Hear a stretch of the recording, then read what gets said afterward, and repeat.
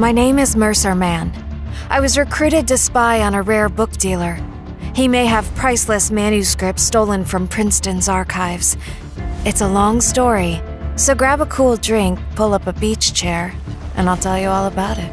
The literary life can be more devious and dangerous than you think.